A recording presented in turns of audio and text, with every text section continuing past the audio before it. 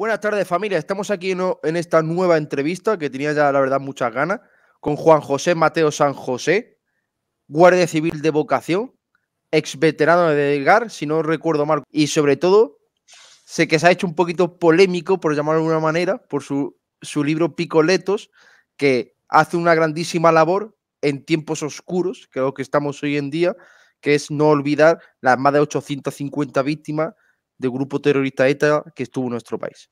Juan José, muchísimas gracias por compartir un poquito de tiempo conmigo. Buenas, buenas noches, eh, encantado. En, el GAR estuve seis años, lo que pasa es que de servicio he estado eh, casi 30. En general. un matiz, un matiz. Bien, Juan, para que la gente que no te conoce, ¿quién es Juan José Mateos? Cuénteme. Bueno, Juan José Mateos es una persona muy normal, eh, que desde muy pequeño eh, tuvo la vocación de, acceder a la Guardia Civil eh, por cuestión de proximidad, porque vivía al lado de un cuartel de la Guardia Civil y mi padre tenía muchos amigos. Y bueno, pues entré en la Guardia Civil después de tener una infancia difícil, porque fui huérfano desde muy pequeño, seis hermanos huérfanos. Y una vez accedí al cuerpo, pues mi objetivo antes de entrar era acceder al GAR y bueno, y, con el paso del tiempo, a pesar de haber sufrido un atentado a los 20 días de servicio, pues accedí, eh, pasé los mejores años de mi vida en la unidad y luego, desde luego, me especialicé en policía judicial, en tráfico, bueno, en tráfico, en policía judicial. Y, bueno, y aquí estamos. Para comenzar desde el principio, Juan, ¿cómo fue esa, esa entrada eh, a, la Guardia Civil en aquella época? Porque ¿en qué año estamos hablando cuando te incorporaste al cuerpo? Al cuerpo me incorporé en el año 95. Eh, el, acceso ya a la Guardia Civil eh, empezaba a ser bastante más complejo, eh, ya que el periodo anterior fue un periodo bastante accesible a raíz de las Olimpiadas y de la Expo de Sevilla. Y en años después, pues cambió la normativa bastante, empezaron ya a exigir bastante idioma, por ejemplo, que en mi año fue prácticamente, bueno, pues un, trámite.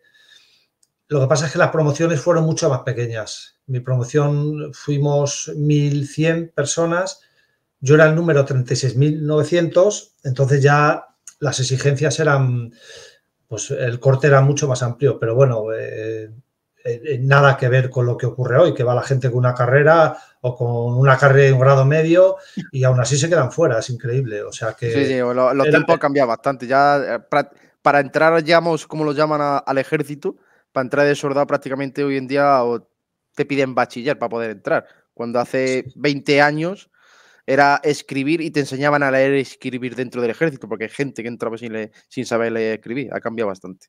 Sí, sí, ha cambiado bastante. Yo, yo, yo estuve en el ejército también, o sea que, pero bueno, que ha cambiado mucho y desde luego es, normal. Eh, hay que progresar en muchos sentidos y en lo que tú controlas, en el tema táctico, técnico, pues ya ni te cuento. Esto ya es un. Como decía mi jefe, no hemos hecho profesionales, pero mal pagados.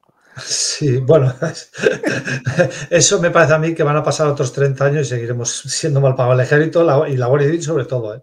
El ejército y la Guardia Civil sobre todo, los dos. ¿Cuánto tiempo pasa desde que entras a la Guardia Civil y haces el curso de ERGAR para incorporarte al ERGAR? ¿Cuánto tiempo pasa, digamos, de, ser, de patrullero? Pues en seguridad ciudadana rural, como bien conoces, eh, estuve tres años. Sí que es verdad que estuve seis meses de baja a raíz del atentado por las operaciones que sufrí.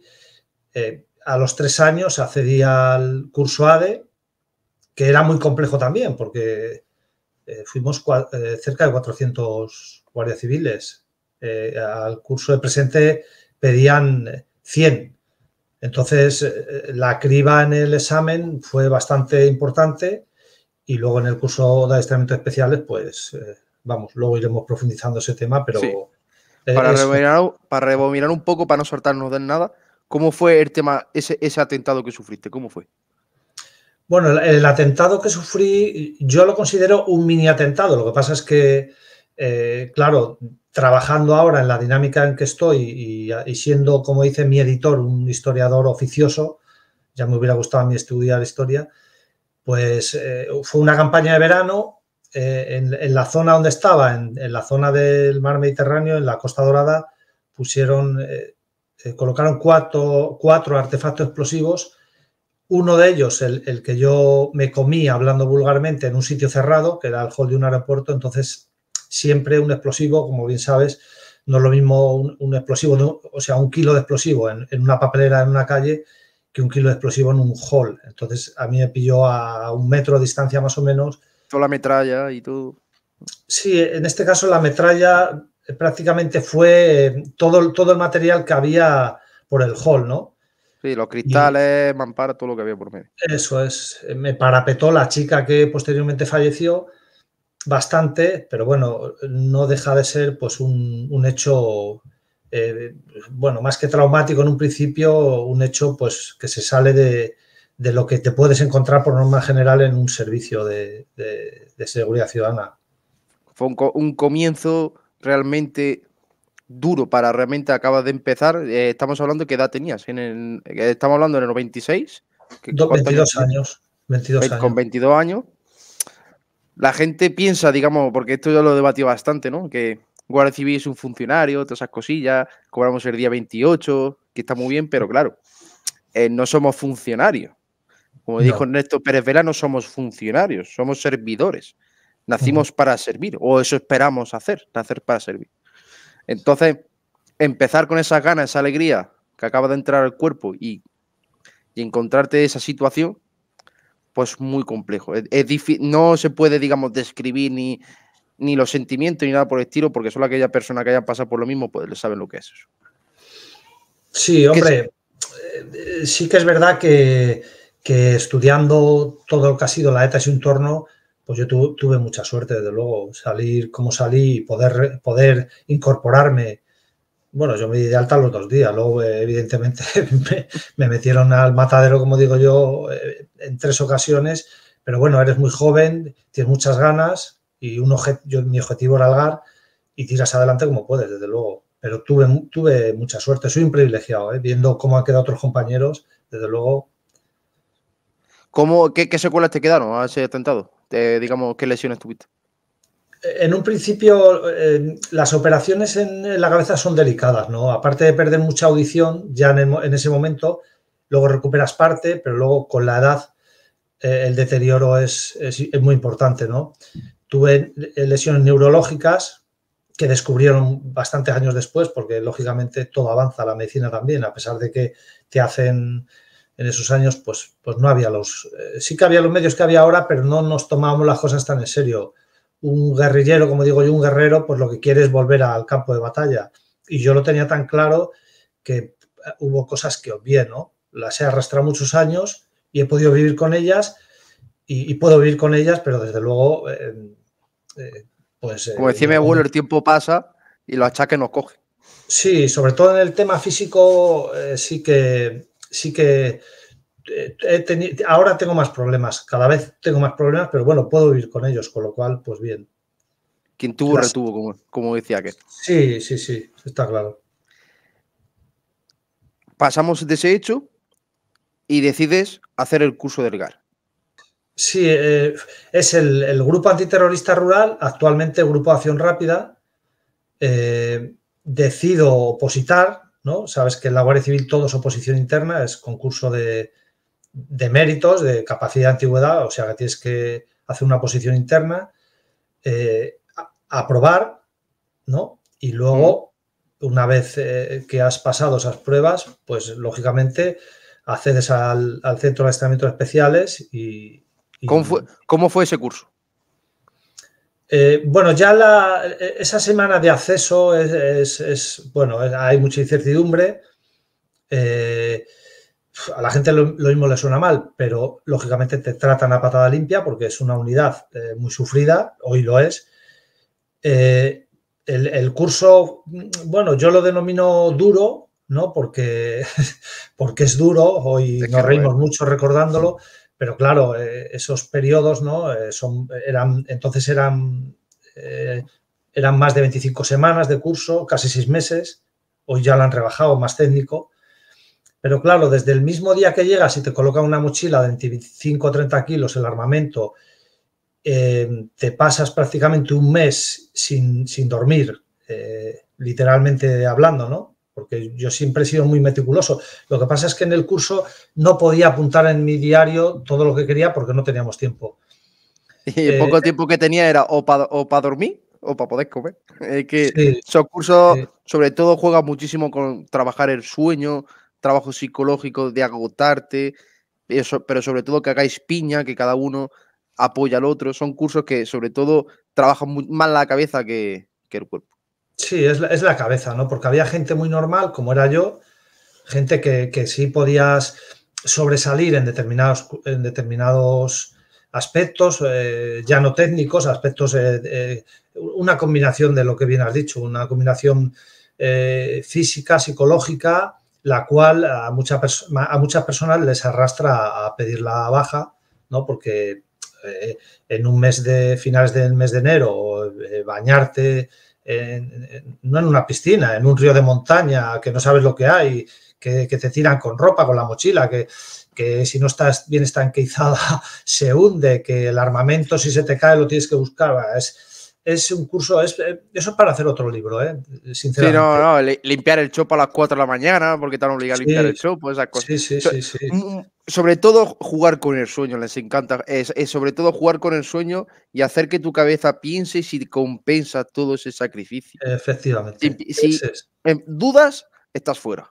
Estás fuera te vas tú, ¿no? Y si no te vas tú, eh, lo mismo no te echan porque no conviene y, te echan una semana antes, ¿no? Pero bueno, eh, la verdad es que eh, yo creo que las personas más normales quizá somos los, los que más capacidad tenemos de, aguantar ese tipo de, de, pruebas y al final, pues oye, yo salimos 26 compañeros de 400, entonces y, bueno, pues eh, muchos recuerdos muy duros, ¿no? Eh, eh, yo no hay noche que no me acuerdo del curso ¿eh? ¿no? De, servicios en el GAR también. Hay veces, hay noches que, hoy, por ejemplo, que aquí llueve hace un tiempo horroroso, pues te acuerdas, ¿no? Decir, joder, me meto en la cama calentito. Los, días de espera, esperando un buzón. en noches enteras de guardia. Sí, sí, el servicio, pero el servicio era, el servicio es diferente. El curso Digamos que, es la, satisfacción del deber cumplido, ya llega. Pero claro, hay, que, pasar el curso. Sí, el, curso, el problema que era, es como los años del ejército, jugabas a la guerra, porque entonces España no tenía un peso específico. La diferencia del GAR es que el, primer día que llegas de servicio, sabes que tienes un enemigo enfrente, camuflado totalmente con la población civil, que te puede atacar en cualquier momento. En mis años, desde luego, no tenían la, no tenían la actividad que tuvieron los años 80 o finales de los 70, pero esa es la realidad, que vas, vas patrullando con toda la media seguridad por cualquier pueblo o ciudad y, transformaban un escenario normal en un escenario de guerra en cuestión de segundos, como pasó en mi atentado y en otros en los que, en los que estuve, ¿no? Hablando del curso, porque no quiero dejarme nada, eh, esto se lo eh, pregunté también a Miguel en su momento. ¿Cómo estaba dividido el curso? ¿Cómo lo tenías? Digamos, parte montaña, parte agua, el tema sanitario, porque claro, ahora el sanitario táctico del combate se lleva mucho de moda ahora, todo el tema de control de sangrado, todo eso, pero claro, estamos hablando en el 96 que a lo mejor no estaba tan inculcado llevar un torniquete encima y todo eso. ¿Cómo, digamos, ¿Cómo estaba inculcado, digamos, el curso en seis meses? la, primera la primera fase que hoy día son 10 días, la fase de, como dicen ellos, de adaptación, entonces era un mes. Entonces, eh, en esa fase ni duermes ni comes, a ver, duermes, comes y todo, pero de una manera muy reducida, sobre todo en el sueño, ¿no? Y, lo que más hacías era chupar barro. Hacer instrucción individual o de combate constantemente, con esa mochila que, que era, tenía que ser parte de ti, igual que el, que, un Mauser, el modelo, el modelo de 1928, eh, que, es muy pesado, que, y largo. no sirve, y largo, no sirve para nada, lo único es ofrecerte peso, ¿no? Un cordino y todo era circunstancial. Entonces, lo que los instructores eh, eh, pensasen, sí que tenía fases, ¿no? una fase de agua que es prácticamente durante todo el curso, ¿no? Para desgastarte. En esa etapa más, ese año nevó muchísimo encima, que en La Rioja no es que sea un clima como el de Jaca, por ejemplo, donde hacen operaciones especiales el ejército, pero eh, ese año pues salió así. eh, no es lo mismo hacer el curso de adiestramientos especiales de septiembre a diciembre que de enero a finales de mayo. No es lo mismo, porque chupan mucho frío y mucho calor. Sí, te lo comes tú. Exacto. Entonces, las fases son esas, el periodo de adaptación, eh, luego es un periodo más técnico de, mucha montaña, mucha, mucho... Tema de esquí, subida, escalada. Sobre todo, sobre todo lo barato. Eh, eh, mucha, mucha marcha de doble jornada. Mucha raqueta para arriba, raqueta para abajo. Exacto, mucho monte. Eh, el esquí llega después porque eso, eso es como, como cuando había curso de paracaidismo, eso es un descanso total. El esquí, pues otro. Pero el curso no es así. El curso es, pues eso, buscarte la vida en el monte, dormir en el monte y, y, sobre todo jugar mucho con el tema psicológico de pegarte dos días pateando llegar a la puerta del centro de adiestramientos especiales, tú ya creer que te vas a meter en la cama y, ir al monte otra vez. O sea, eh, bueno, cosas que, bueno, que los militares conocéis perfectamente. ¿Y la tercera fase cuál era, más o menos? Para concretar más o menos, ¿qué fase estuviste en ese curso? Eh, la siguiente fase es ya más el, tema técnico de cómo intentar eh, eh, cómo intentar sorprender a lo que era la ETA entonces, ¿no? Entonces, lo, más, lo que más realizaba Algar, por norma general, eran los dispositivos, los controles, los controles de carretera. Claro, un control de carretera a simple vista, tampoco hay que darle pistas al enemigo porque actualmente el GAR sigue con una dinámica que él mismo creó y que ha exportado por todo el mundo, ¿no? por todo el mundo, desde la guerra de los Balcanes a hoy la formación de países en el Sahel. Entonces, hay un abanico muy amplio de dispositivos, ¿no? no solo de lo que es el control en sí, de cómo está formado el control, que eso prácticamente lo se puede decir que a nivel mundial el GAR eh, se, nutrió, la, Universidad del GAR era la ETA y su entorno, y luego pues eh, eh, los cierres de zona, las batidas, ¿no? cuando se daban las Sí, que por ejemplo, para matizar eso, que el, control de zona, sobre todo atentado, el, control, el checkpoint como llamarlo de una manera, y el control de caja de V, eso lo importaron luego al ejército, que lo cogió luego de, se lo enseñaron para cuando fue la gente a Irak y Afganistán. cuando el atentado 100 metros, la, eh, la, burbuja de 100, 200, 300 metros, todo eso. Eso es. Entonces, tú date cuenta que el GAR se curtió sufriéndolo sus propias carnes, porque para darle cobertura a las patrullas territoriales, se, se, comió dos atentados con víctimas mortales. Eh, otro, eh, otro de ellos fue el, teniente Mateo Isturi con Adrián, eh, que trampeara la zona. Entonces era muy delicado, ¿no? Porque en un escenario de guerra sabes que es un escenario de guerra, que puede La guerra de guerrilla es muy difícil. En este caso, ETA era, aunque no fueron nunca profesionales, te podían, de cualquier manera, te podían, te podían atacar con trampas, ¿no? Yo estoy teniendo ahora conversaciones, quizás suena mal, pero estoy hablando con etarras de cómo quisieron eh, atacar a Algar. Y ellos mismos me dicen algún día profundizar en el tema. Decía que era muy difícil. No se fiaban, ¿no? No se fiaban porque la reacción era muy contundente. De hecho, lo que cuento en, el libro, en Picoletos, eh, pues eh, lo detallo perfectamente. Era muy difícil, pero más que nada por más que nada porque era muy difícil encontrarse al GAR. El GAR aparecía y desaparecía como hacían ellos. Entonces, la reacción de una patrulla de seguridad ciudadana, que son los verdaderos héroes de toda esta historia, ¿no? Eh, es el primer interviniente, como decía Néstor Pérez Vera, es el primer interviniente. La patrulla que está dando una patrulla por el paseo marítimo, tal, esos son los primeros que se encuentran el fregado. Ya luego viene el GAR, que lo llama, le dan un punto específico, información, hay que entrar aquí, hay cinco con automática, tienen que entrar, pero eh, los de seguridad ciudadana son los primeros que se comen el marrón. Sí, y en aquellos años allí era muy complejo, era muy complejo, porque una sección del GAR, en mi tiempo, lo mismo íbamos cinco vehículos, antes quizá iban diez, con el BDR, con la eh, tanqueta vulgarmente hablando, entonces era muy intimidatorio los dispositivos y todo lo demás.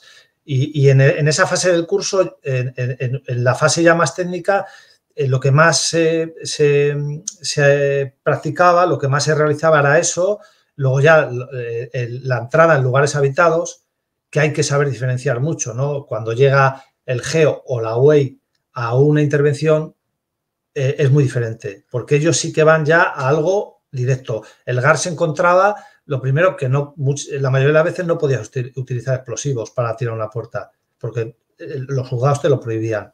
Con ETA ha sido todo excepcional. ¿no? Entonces, cuando llegaba el GEO o la UEI en este caso, pues era muy sencillo, ¿no? Porque se le había hecho todo el trabajo, ellos reventaban la puerta, iban en cuestión de segundos a por el, a por el malo. Nosotros eh, te comías unos cercos con, posibles explosivos, con trampas. Bueno, la verdad es que hay que hablar en plata. Eh, yo hablo más de mis veteranos que de mí, porque en mi tiempo, aunque hubo, hubo una etapa dura, ¿no? La socialización del sufrimiento, ¿no? Sobre todo del año 96 en adelante hasta que se pudo, hasta que Francia quiso cooperar, que era, era muy complicado, ¿no? Acceder a cualquier lugar porque te comías un explosivo a la mínima.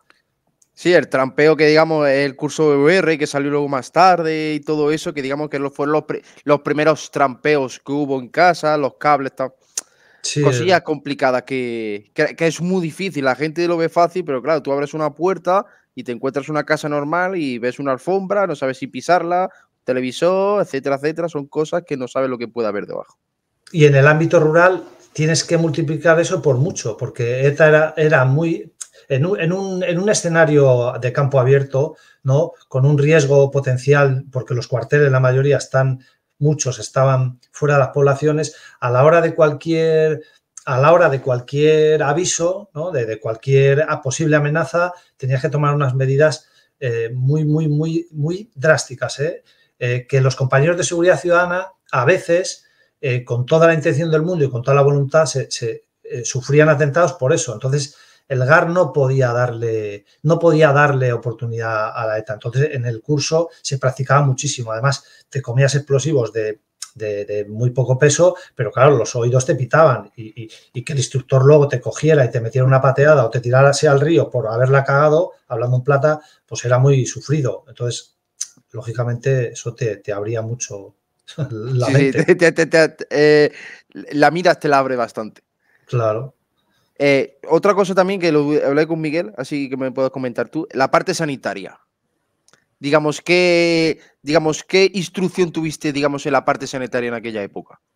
El tema del control de sangrado, el March, cómo está tan en boda, la nueva línea que tenemos nosotros, todo eso. ¿Qué teníais vosotros por aquella pues eh, mira, en, aquella época la verdad es que dentro del listado que te mandaban para completar la mochila de combate, que la mochila había que verla, ¿eh? la mochila no es la Altus moderna que tienen ahora. Eh, bueno, yo, hice, digamos, la instrucción con la garbanzo, con la antigua, que eso era... Efectivamente, la banda abajo de chapa, que se te hincaba, los 5 kilos de sobrepeso, que depende de lo que metieras, era, será un calvario. El casco con el botón aquí en medio. Sí, bueno, el casco en, nuestro caso no, era un problema porque llevabas la, la teresiana y luego ya a partir del tercer mes de curso te daban la boina sin el distintivo, desde luego, pero era, era mucho más llevadero que el casco, eh, sin duda. Entonces, en el equipo que te ordenaban sí que había un botiquín eh, y sí que hacías un curso de primeros auxilios, pero prácticamente no incidían en, no incidían en un, como, como llegó después, ¿no? en una instrucción eh, sanitaria de un, grado avanzado como tiene ahora el GAR, ¿no? Con sus especialistas, con gente sanitaria, incluso con... sí, digamos que no teníais, digamos, dentro de ese pelotón, de esas cuadros, de esa sección, un encargado sanitario, por así decirlo, no estaba. No, negativo. Había, sí, que había preparados físico, había un guía de perros con, perros, pero no había, no había un equipo sanitario ¿eh? como tal. Eso llegó, eso lo impuso el teniente coronel Galloso, que en paz descanse, que fue, desde luego, para mí, el eterno jefe del GAR y el que, y el que modernizó la unidad a un nivel eh, técnico, táctico y de disposición operativa, bueno, a nivel a, lo que está el GAR ahora. ¿Cómo te sientes al terminar el curso de GAR? Bueno, pues aparte de, de, no quedarte un gramo de grasa, como explico en mi primer libro, que parecíamos los judíos del holocausto, porque es increíble es increíble, ¿no? De, o sea, eh, pues te sientes muy, muy satisfecho, ¿no? Porque, porque yo, eh, o sea, esa satisfacción la siento muy a menudo, ¿no? Muy a menudo porque es una, o sea, ser un hombregar, eh, mira, el otro día han acabado el curso, han acabado 14 compañeros nada más. y yo les, a todos le mando la moneda al hombregar porque, porque para crear un vínculo, para que estén metidos en los grupos nuestros ya de veteranos. Y te sientes, yo la verdad es que fue una de las mayores satisfacciones que he tenido en mi vida, ¿no? oficialmente hablando, o sea, dentro de la Guardia Civil yo creo que fue la más, he hecho otros cursos de formación, pero no, no, el sacrificio... No es lo mismo. No, no, no, no. sobre todo el compañerismo que hay dentro con el que has tenido al lado, que ha mamado frío, ha mamado hambre, en un pozo tirador, un noviembre en Navarra, buscando un enemigo que no existe, esperando que, llegue, que llegue de día para poder volver. Que ojalá te traiga un refuerzo por la noche de su pica porque estás pasando mucho frío. Eso se nota, eso se recuerda. Eso se queda para siempre. Sí, sí. Yo me hubiera gustado en determinados ejercicios que hicimos me hubiera gustado saber a la temperatura que estábamos, ¿no? En, la. En, el, por ejemplo, en la zona del San Lorenzo, en, con la iglesia se me va mucho la cabeza, o en zona próxima a, Navarra, eh, me hubiera gustado saber a qué temperatura estábamos porque era insufrible. ¿eh? O sea, pasar una noche entera eh, montando un dispositivo, jugando a buscar a etarras, porque entonces estábamos en el curso, era terrible. O sea, y días enteros así y sin dormir y es, duro. Lo que pasa es que, bueno, a ver, si lo he pasado yo, que soy una persona normal, pues evidentemente cualquiera puede pasarlo. Las noches de pensar, como decía mi jefe, dice que, tenía, que haber, tenía que haber estudiado, ¿qué hago yo aquí? Todas esas cosas. bueno, eh, si te gusta, si, quieres ser un guerrillero, eh, aún habiendo, yo tengo compañeros que habían estudiado más que yo y, y tienen que pasar por ello igual. Sí, sí, pero, pero se te pasa, alguna que otra noche se te pasa, queramos que no, siempre, digamos, ahí es, eh, flageas un poco, pero al final sé que, digamos, mantiene la compostura e intenta seguir hacia adelante. Terminamos el curso. ¿Cuál es el siguiente paso? Pues el siguiente paso es volver a tu unidad y estar deseando que salgan vacantes para, pedir ya el GAR. En mi caso, eh, nada, eh, en junio estaba incorporado en, mi, destino, que estaba en Burgos, en Pradolongo, en un pueblo de montaña. Eh, estuve un año, un año excelente, aprendí muchísimo pasar destinado a, la unidad, ¿no? Pasar destinado, yo pasé a la primera compañía, entonces ya la base nuestra estaba en Garellano, en, Munguía. Eh, claro, eh, es un sitio muy idóneo, ¿no? Porque es un cuartel militar con mucho campo, mucho monte, todo lo que nos aprovechamos de todas las dependencias del regimiento para nosotros, o sea que era... era sí, el antiguo cuartel militar que había por allí. Claro, estaba muy, muy bien en ese sentido, las instalaciones eran muy buenas, y bueno, pues ya es el día a día. Eh, el día a día eh, de salir a la calle, ese mismo, bueno, según llegamos, eh, nos, tiraron al monte tres días. Tuvimos que ir pateando con todo el equipo. Estaba, entonces estaba la mal llamada tregua del 98 al 99.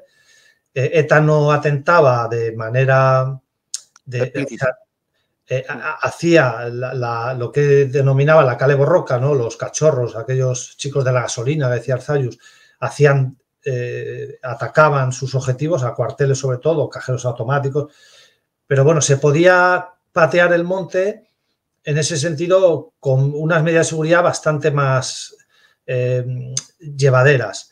Entonces, eh, lo que hizo el, teniente Gallos entonces fue, bueno, buscar la vida en tres días, aparecer en, en Guernica, las cuevas de Santimamínez, eh, en, un tiempo nos hacía puntos de control, check-in, y a buscarse la vida. Eh, así estuvimos pateando, no podía salir por carreteras, tenía que ser todo por monte, entonces te buscas la vida y bueno, fue una aventura, la verdad. La buena topográfica con brújula y mapa. Efectivamente, eso fue lo primero que hicimos y luego ya recorrer la demarcación y nos integraron en, las secciones. Eh, continuamente salíamos con todas las secciones, eran tres secciones por compañía para recorrer la demarcación. Son demarcaciones muy complicadas, muy complejas, porque no es lo mismo patear Castilla que patear las provincias vascas o Navarra, es, muy diferente. Monte para arriba, monte para abajo. Exacto, son carreteras muy sinuosas, eh, una, orografía muy compleja, eh, que había que conocerla, que los veteranos estaban muy curtidos, era una, era esa compañía estaba muy curtida, gente ya, entonces eh, parecían viejos, gente con treinta y pico años, con unas condiciones físicas y, eh, espectaculares, vamos. Que, veteranos, que a los 40 entonces te echaban de la unidad. Eh, te echaban, literalmente. Te daban una pata en el culo y ya la, eh, búscate la vida. Que, era patético, ¿no? Pero bueno, tuvimos mucha suerte en ese sentido, ¿no? Fue una etapa pues poco productiva en el sentido de lucha antiterrorista, pero luego se inició una etapa muy violenta otra vez, muy, con muchos atentados, eh, muchos atentados a concejales, a gente muy humilde, eh, que nos hizo trabajar de manera muy intensa, dar muchos palos de ciego, porque información, los gobiernos, como siempre, pecan de, del buenismo aquel de, concederle a ETA, en este caso el, gobierno de Aznar, que luego espabiló muchísimo, desde luego, pero nosotros estuvimos un año y pico dando palos de ciego y luego enseguida eh, empezó una dinámica antiterrorista en Francia muy, muy fuerte y, claro, repercutía en, nuestros servicios diarios. Sí, los últimos buzones que se fueron cogiendo, sobre todo en el norte de Navarra, fueron los, digamos, los últimos golpes que se le dio a la banda terrorista antes que, digamos, colgara, por así decirlo. Sí, ellos tiran la toalla. Eh, hay, hay datos muy significativos que explico muy bien en los libros, con datos técnicos comprobados. Eh, date cuenta que la, eh, cualquier tipo de delincuencia organizada siempre está por, por encima de la policía. Pero en este caso, ETA se quedó por detrás. Se quedó en analógico, la Guardia Civil pasó a un sistema digitalizado con aquel pacto de las Azores, ¿no? Estamos hablando ya de 2001, después de los atentados del OCS eh, eh, dotaron de medios a los equipos especiales de información, de medios digitalizados muy importantes. Entonces, claro, lo que era la lucha policial le, arrolló a ETA. Y a partir de ahí, pues se sucedieron operaciones muy importantes en el sur de Francia que repercutían mucho en nuestros servicios.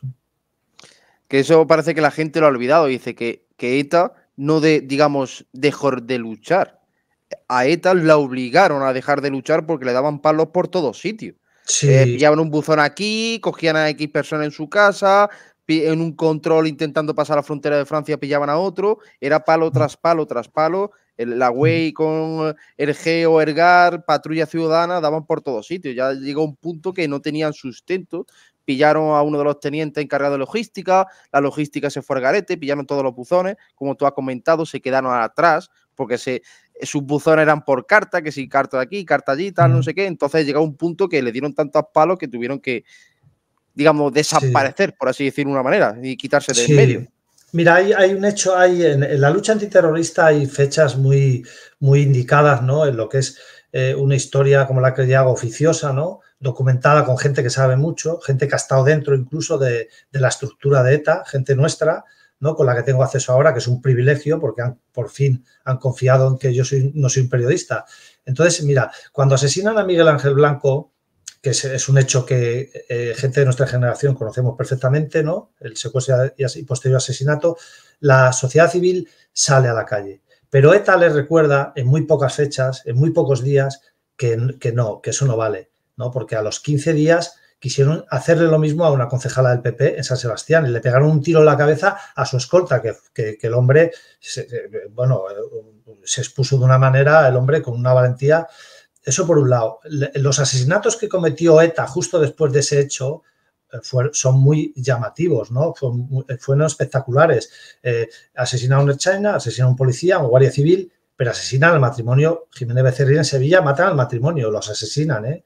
En plena calle o sea, que dejan claro que la, movilización cívica es muy importante, siempre lo ha sido, pero la lucha policial ha sido lo único que ha sido capaz de arrinconar a la ETA, porque los políticos no tomaron conciencia nunca, porque después del gobierno de Aznar, que fue decisivo, con todas, sus, con todas sus cosas malas y buenas, llegó el gobierno de Zapatero y les dio alas de nuevo, ¿comprendes? Entonces, la lucha policial estaba tan estructurada ya. Hay gente que, no le gusta que yo hable así, pero es la realidad. no, la realidad. Por suerte, tuvisteis, digamos, eh, desvinculación, digamos, del gobierno por la mayor parte, sobre todo por jefes, que sobre todo los jefes antiguos, como dicen aquello, que, digamos, no se dejaron llevar por aquellas lenguas y consiguieron, digamos, cumplir con su trabajo, que ya, por ejemplo, a lo mejor hoy en día, a lo mejor esos jefes pues, han cambiado un, poco, ¿no? Pero realmente se tuvo esa suerte por eso, porque había jefes, esos tenientes coroneles, esos generales, esos comandantes, que decidieron seguir con el mismo trabajo que estaban haciendo.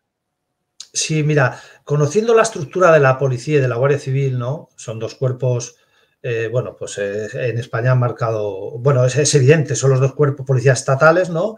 Eh, pero mira, es duro hablar del caso Faisán.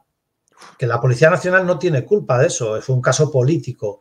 Y sí que, sí que, sí que tienen culpa algún comisario jefe, ¿no? La Guardia Civil, por ejemplo, es muy difícil de manipular en ese sentido. De hecho, en las actas de ETA de, con fecha 21 de junio, me las sé de memoria, y fíjate que yo ando mal de la cabeza, entre los palos que me dieron de crío los, algún maestro, eh, el atentado y la dislexia, pero son cosas que quedan ahí. Cuando Jesús Eguiguren intenta trasladarle a la policía francesa, a la policía española, a la Archaña y a la Guardia Civil que no detengan en esas negociaciones de 2006, él mismo anota en el acta, ETA anota en el acta lo que dice Jesús Eguiguren. Dice, he tenido que trasladarle verbalmente a esos cuerpos que no detengan, conociendo que la Guardia Civil solo obedece al Duque de Ahumada. Pues días después el GAR detiene a un miembro de ETA ¿no? Aquí en España y se hace una operación a nivel internacional. Entonces los políticos dicen, vamos a ver, eh, ese gobierno del PSOE pues, pues eh, hace aguas en ese sentido. Pero la Guardia Civil sigue su línea, ¿no? No quiero decir con esto que todos los jefes no se adapten a los políticos, que de hecho vemos cómo quitan y ponen, sobre todo en, este, en estos tiempos, este ministro de Interior, este ministerio y este ministro, eh, yo creo que es lo peor. Sí, que, como decía, no sé si conoce a, Samuel Vázquez. Mm que lo que está diciendo, que ahora, digamos, los directores, los comisarios y todo eso, policía, policía son pocos realmente, son más hombres de partido. Exactamente, pero la Guardia Civil es muy difícil eh, hacer eso. El, Consejo Superior eh, ahora mismo pues, obstaculiza determinadas cuestiones, ¿no? El caso de Pérez de los Cobos ha sido brutal. Pero bueno, ciñéndonos a ETA, es muy importante y es muy satisfactorio que un político que me estaba mediando con ETA diga la Guardia Civil solo obedece al Duque de Ahumada. Y es verdad, ¿Por qué? Porque una estructura tan amplia, un sargento de sección se encuentra con etarra y lo detiene. ¿Comprendes? Lo mismo el general dice, joder, vaya movida, pero tiene que, hay que detenerlo porque es un criminal. Eso ocurre así. Y si ETA está como está hoy día, ¿no? Es en, mucha parte, bueno, como dijo Tío Uriarte, uno de los fundadores de ETA, por el gran trabajo de la policía y sobre todo por el de la Guardia Civil. Eso lo, lo he metido yo en un vídeo hace poco en Instagram. Y sí, que la gente parece que lo olvida, pero que es así. Si no llega a ser por ese gran trabajo que se hizo y esas vidas que se perdieron y ese esfuerzo que se hizo, hmm.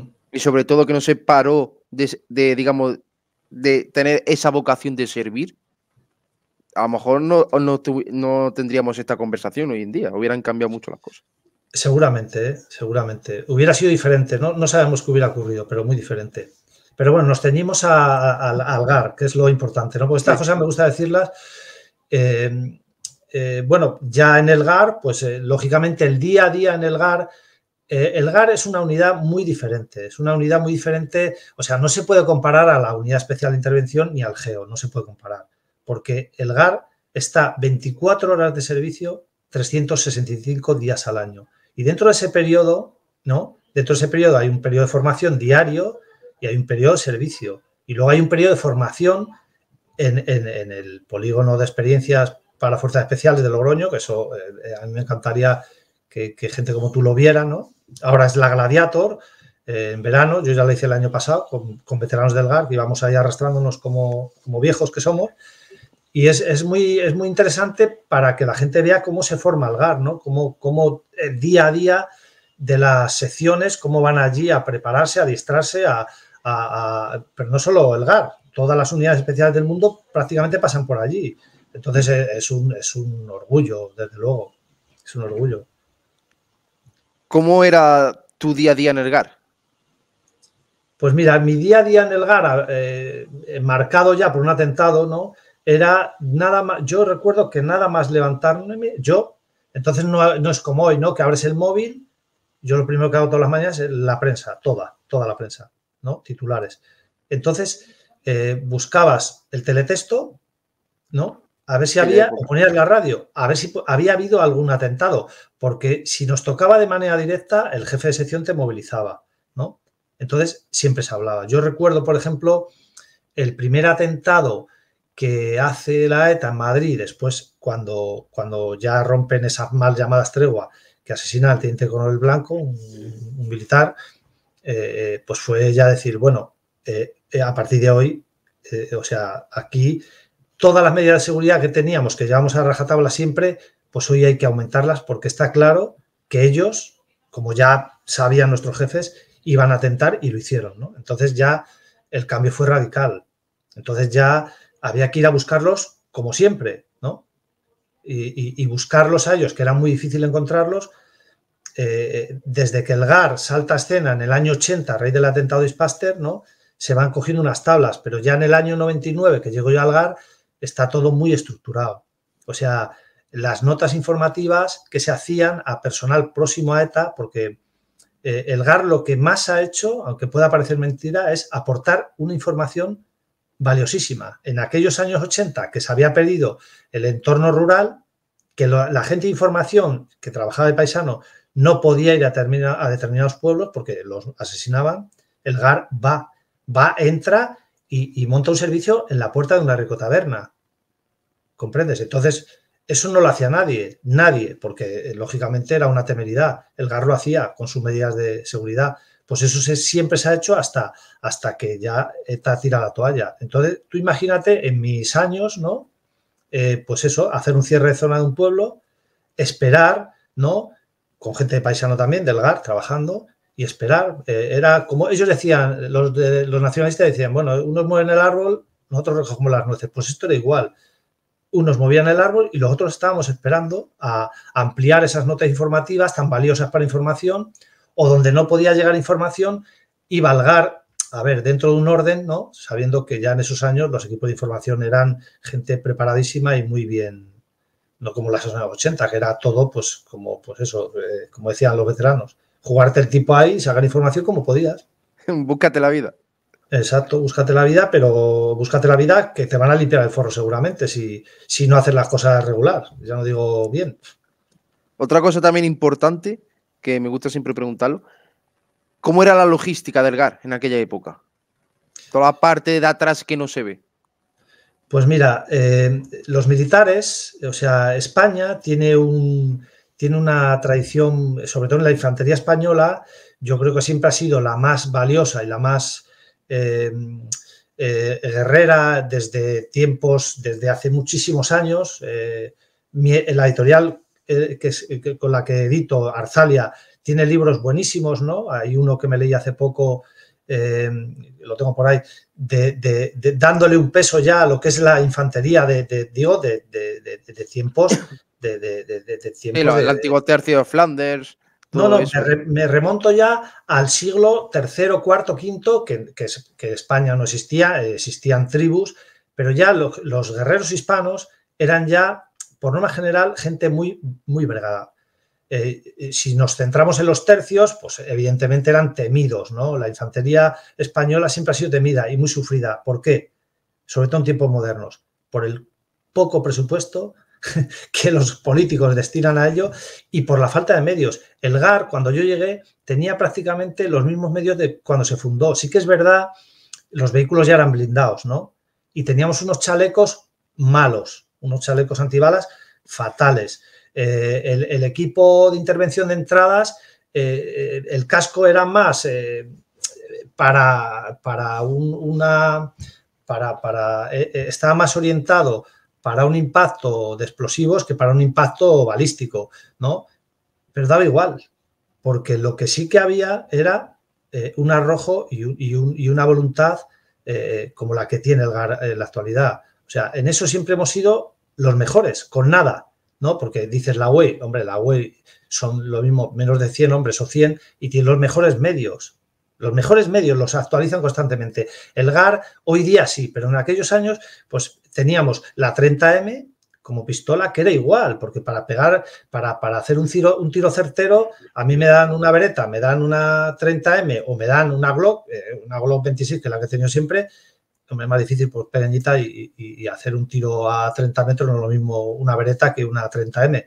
Y una HK-33, eh, eh, bueno, era, una, era un fusil muy certero, ¿no? Era un fusil buenísimo. Pero, hombre, o el MP5, pero poco más, poco más. Lo demás eran horas de servicio y, constantemente improvisar dentro de un orden muy metódico, ¿no? Para prevenir cualquier tipo de cosa. No había medios, sinceramente. Los medios llegaron en el año 2001. A partir de ahí sí. Después del 11S y todo eso. Exactamente, que Aznar se comprometió dentro de, ya digo, dentro, no me gusta hablar bien, hablar bien de los políticos, pero cuando hay, cuando hacen, cuando hacen cosas bien hechas, incluso el presidente del gobierno que tenemos ahora, si hace algo bien hecho, pues hay que reconocérselo. Y en ese sentido fue decisivo, fue un antes y un después. ¿eh? Los medios. La entrada de la guerra de Irak y todo eso que vino. El pacto de las Azores fue decisivo. Para mal, por la invasión de Irak, desde luego que fue por lo que fue, pero en lo nuestro fue muy significativo. ¿eh? Eh, sobre todo quiero preguntarte, no sé si me lo puedes contar, eh, el trabajo de espera de buzones para hora de entrar, esperar que llegaran al tema del buzón y demás. ¿Cuál es, digamos, cómo se montaba ese dispositivo? ¿Cómo lo teníais, digamos, planeado a la hora de, trabajarlo? Mira, en los años en que yo estuve en la unidad, eh, ellos seguían utilizando los buzones. Eh, información, los, grupos de información eh, de nivel, a nivel de comandancia de Inchaurrondo, que siempre han sido mucho más sobresalientes por, el tema de que Guipúzcoa siempre ha sido una, provincia que estaba, es, hoy día es la más radicalizada, ¿no? que prácticamente queda muy poco, pero en, en, esos años 80, 90 o 2000, con mucha diferencia, era la provincia que más actividad terrorista tenía. Entonces, eh, todo lo que, todos esos dispositivos, eh, sin, una, sin una digitalización y control digital de lo que era la ETA, pues había que tomar, era muy difícil llegar a ellos. Sí que, sí que, se, sí que se interceptaban, pero procedían ya de información de, los equipos de especiales de información. Entonces, eh, el acceso nuestro era siempre coordinado por ellos, ¿no? Cuando ellos, eh, que lo hacían prácticamente todo por los medios que tenían ya, eh, no llegaban a algún sitio, eh, llamaban al GAR, ¿no? Yo, yo recuerdo servicios de ese tipo, ¿no? Años antes, el GAR descubría buzones por, por lo metódico que eran determinados compañeros, porque la sección, una sección de veintipico o treinta compañeros, batía una zona porque información decía, bueno, pues por, esta zona hemos visto movimientos, posiblemente hay un buzón, y llegaban a encontrarlos, pero aplicando técnicas totalmente rudimentarias. En mi, época, eh, lógicamente, ETA estaba, la ETA estaba muy debilitada. Eh, yo no recuerdo, sí que recuerdo que la segunda compañía interceptó alguno. Lo que pasa es que yo creo, eh, tengo que hablar así, que todo venía por la información que aportaban los, compañeros del SIG de información, ¿eh? creo, eh, estoy seguro. Otra cosa era, por ejemplo, interceptar eh, un punto de información en un bar, en una zona, que eso lo hacía toda información. Luego nosotros acercábamos eh, eh, la sección se acercaba a, la hora de identificar a una persona que convenía, ¿no? Era un dispositivo que eh, prefiero no entrar en eso porque hoy se, sigue haciendo con los narcos o, con otro tipo de delincuencia organizada, ¿comprendes? Pero era, era muy complejo, ¿eh? Con ETA era muy complejo. Sí, más o menos tiene un detalle, digamos, una idea hecha en la cabeza de lo que me han contado, pero era para especificar un poquito. Hmm. Y el tema de confidentes, sobre todo porque creo que me contaron una historia Así me puedes confirmar tú. El tema que tuviste que sacar un confidente de X sitio porque pasó una historia que lo pillaron o algo de eso, ¿sí? El, eh, bueno, el tema, el, tema de confidentes, por ejemplo, el, general Galindo, en su etapa de jefe del servicio de información, tenía una red impresionante de colaboradores, que hoy día se puede hablar de ello, ¿no? Yo en tiempos recientes estoy hablando con compañeros que han tenido muchísimo peso en la lucha antiterrorista, que son ya, ya están retirados, han sido jefes y, la verdad es que me han aportado información muy importante. ¿no? Eh, el tema al que tú te refieres eh, fue un infiltrado que colocó la Guardia Civil con uno de los jefes de ETA, eh, que ese, ese, ese, jefe de ETA descubrió eh, eh, yendo al domicilio de este, de este compañero, que está en activo, y lógicamente eh, no, se, no se saben los datos, vi una foto ¿no? de, este compañero de uniforme. Entonces, claro, ese compañero tuvo que dejar todo, pero había aportado ya una información muy amplia. Pero eran, eran, eran, eso era los años 90 y eso lo, como digo, se sustituyó por la digitalización del control de terroristas. Pero claro, date cuenta que, el general, el, el entonces teniente coronel Galindo, tenía una red de, de informadores muy amplia, que hoy, yo hoy sí que he llegado a hablar con algún etarra o exetarra y, y, me lo están confirmando, ¿no? La cobertura que tenía en muchos pueblos eh, era y aportaba una información eh, muy amplia. Lo que pasa es que cuando conoces a ETA bien, ¿no? Cuando las, eh, te, has, documentado tanto, has hablado con alguno de ellos, con los que tengo contacto directo, eh, estos días incluso, eh, y te explican determinadas cuestiones, te das cuenta de que a ellos también le interesaba, ¿no? Le interesaba colaborar con la Guardia Civil por motivos de seguridad, porque se sentían amenazados, o gente del entorno. Es muy complejo, pero de eso en unos años os, os mostraré cosas muy interesantes.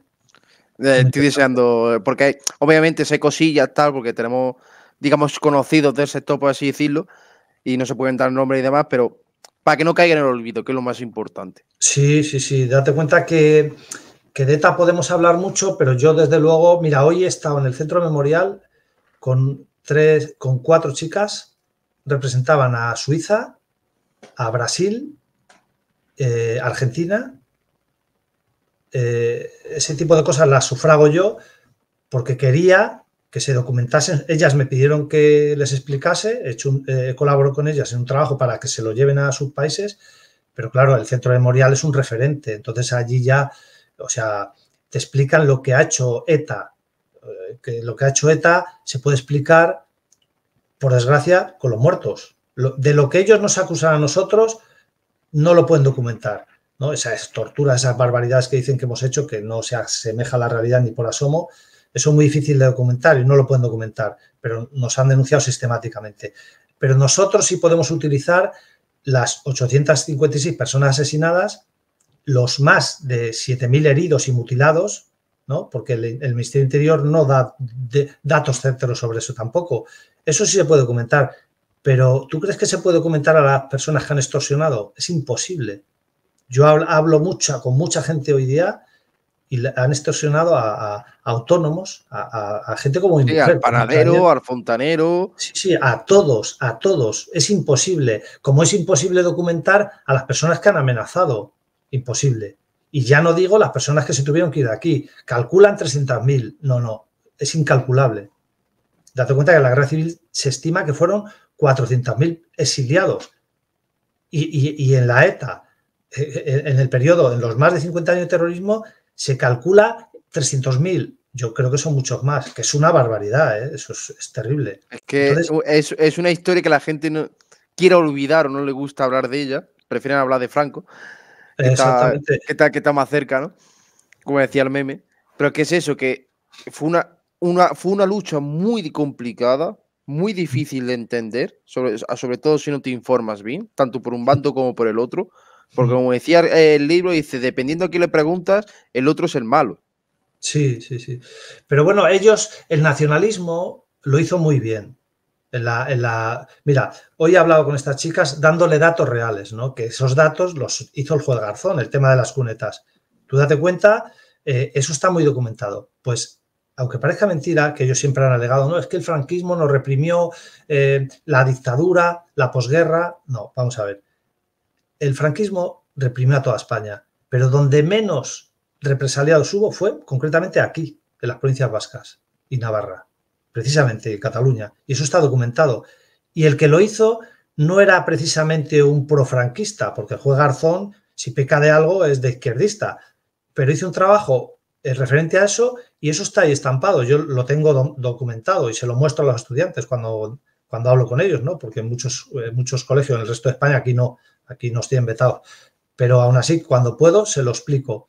Ellos alegaban la lucha antifranquista, eh, si Franco murió en 75 y ETA cuando más escaló fue a partir del 75, ¿no? Del 75 al año 80 fue cuando cometió eh, eh, más de 300 asesinatos, o en el año 80 98 asesinatos, o en el año 79 89, o sea, es una barbaridad, con todos los atentados, o sea, que es terrorismo puro y duro, no tiene justificación los historiadores eso ya lo han desmontado, o sea, ya no... Bueno, su mayor justificación fue cuando se cargaron la mano derecha de Franco, que iba a hacer su, el sucesor suyo, con la bomba que le puso debajo del coche.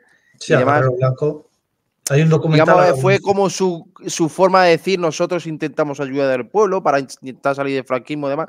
El que pasa que es una lucha tan complicada y tan compleja de ver, porque ellos, digamos, es como intentar entender la lucha islámica, es complicado. Cuando entra el fanatismo de por medio, hmm. como, como eh, se decía, dice, lo más complicado en esta vida y lo más peligroso son los ideales de una persona. Si los hmm. japoneses se, estrellaban con los bombarderos en Pearl Harbor, por orden de su emperador, hmm. o los vietnamitas, eh, las mujeres vietnamitas que estaban embarazadas, se quitaban el bebé, se metían explosivos y se tiraban a, los soldados americanos. Claro. Hombre, Sí que es verdad que aquí, eh, en, estos más de 50 años de terrorismo, eh, ha imperado su cobardía, ¿no? Porque ellos, si hubiéramos tenido un problema como tenemos con el terrorismo islámico hoy día, con los lobos solitarios, pero en su día, como se inmolaban, ¿no? Pues fíjate, hubiera sido brutal, ¿no? Hubiera sido, si ellos hubieran tenido ese arrojo o, ese fanatismo que lo tenían con el tema de atacar a instalaciones, a sus objetivos, inmolándose, como, como se ha hecho en Palestina, por ejemplo, eh, contra los israelíes, eh, o, en, otros países, o hemos sufrido aquí en España, de manera mucho menos impactante, muy, muy impactante, pero mucho, con mucho menos peso. El yihadismo nos ha atacado en España muchísimo menos que ETA, vamos, eh, años luz. Sobre todo menos continuidad, por, llamarlo, por decirlo de una manera. Sí, porque ellos golpean y se van, y ETA era una mafia estructurada brutal, o sea, documentada, diría, en eso. Pero bueno, ha sido muy intenso eh, y el GAR puso su granito de arena. Eh, eh, el GAR ha, tenido un, peso importante, pero bueno, los verdaderos héroes han sido los compañeros de las unidades territoriales de Rural. Por supuesto, el, ataque técnico y directo lo hizo, los hicieron los, equipos de información de todas las provincias vascas y del resto de España, y sobre todo los servicios centrales, ¿no? Y, bueno, el GAR ahí pues estuvo donde tenía que estar, ¿no? tampoco hay que darle mucho peso ni, restarle nada, ¿no? Estoy hablando también con veteranos del GEO y demás, así me puedes comentar algo al respecto. Que algunas veces, digamos, eh, coincidíais en X, en, digamos, que la, digamos, la información es la misma y coincidíais en el mismo punto, y a lo mejor uno se iba, el otro se quedaba, decía, yo lo hago antes para que el otro no se lleve la medalla y todo eso. Eh, ¿te, suena algo de eso así? Sí, hubo. Nosotros más de una. Yo en más de una ocasión eh, nos cruzamos, eh, hemos parado vehículos camuflados del, GEO en, alguna operación que estábamos haciendo nosotros y ellos seguramente al contrario. date cuenta que siempre ha habido una rivalidad, sobre todo por, desde arriba, ¿no?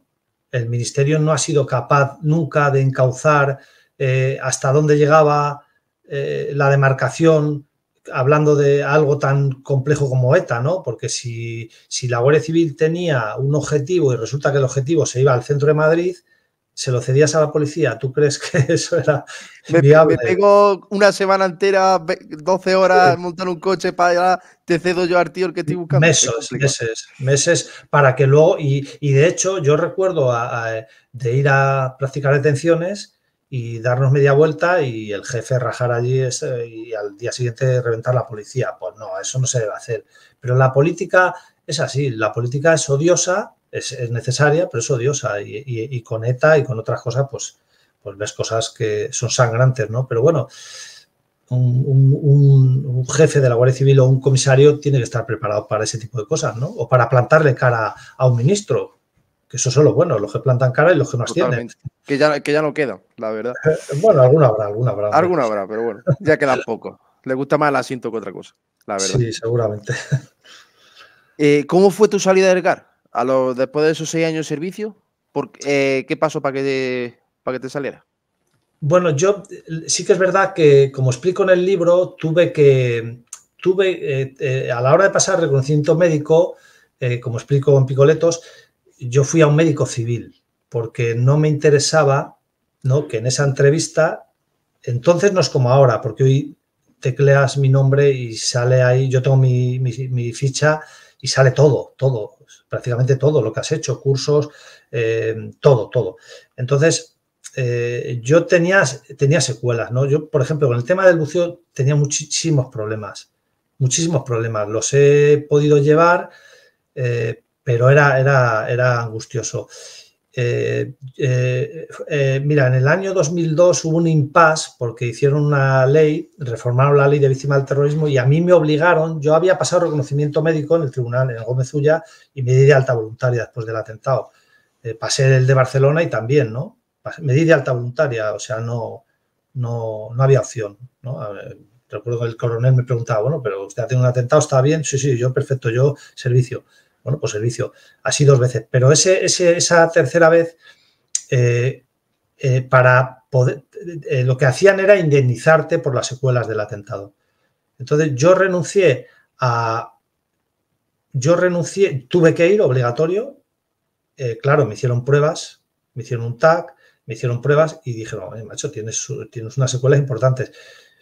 Yo pedí por favor, además tiré del, entonces eh, capitán Galloso, entonces, dije, me está ocurriendo esto, no tienes problema, tú hasta, has cumplido hasta ahora y vas a seguir cumpliendo, no tienes problema.